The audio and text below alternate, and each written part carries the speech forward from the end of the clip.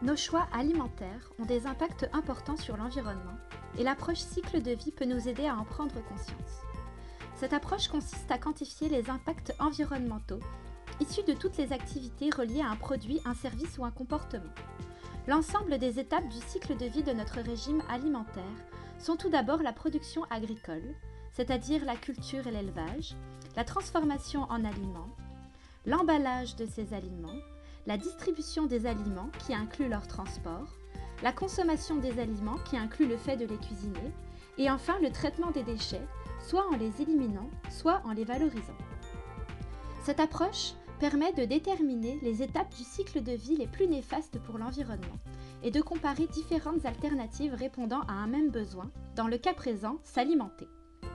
Les impacts environnementaux étudiés peuvent être les impacts sur les changements climatiques, mais aussi l'impact sur la santé humaine ou l'impact sur la qualité des écosystèmes.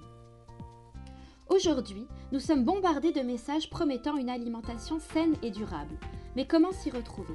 L'approche cycle de vie peut nous aider à mieux comprendre les conséquences de nos comportements.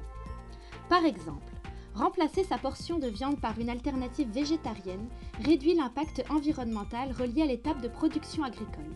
En effet, l'élevage requiert beaucoup d'eau, de terre et d'intrants chimiques pour produire la nourriture animale et est à l'origine de nombreuses émissions polluantes. Manger local permet de réduire les impacts environnementaux liés au transport des aliments dans la phase de distribution.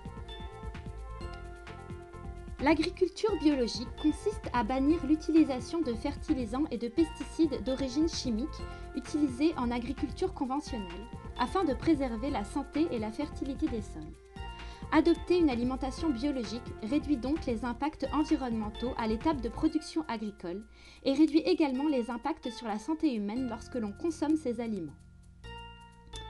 Enfin, privilégier le zéro déchet et le compostage réduit la quantité de déchets à traiter, mais aussi la quantité d'emballage à fabriquer, générant donc moins d'impact sur différentes étapes du cycle de vie.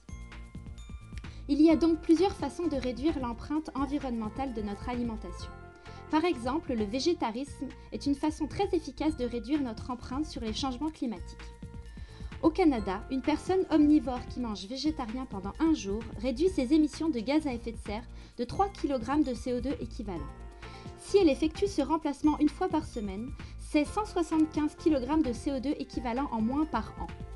Et enfin, si elle adopte ce nouveau régime alimentaire toute l'année, elle réduira ses émissions de gaz à effet de serre de 1229 kg par an, soit l'équivalent d'un aller-retour en avion pour une personne entre Montréal et Paris.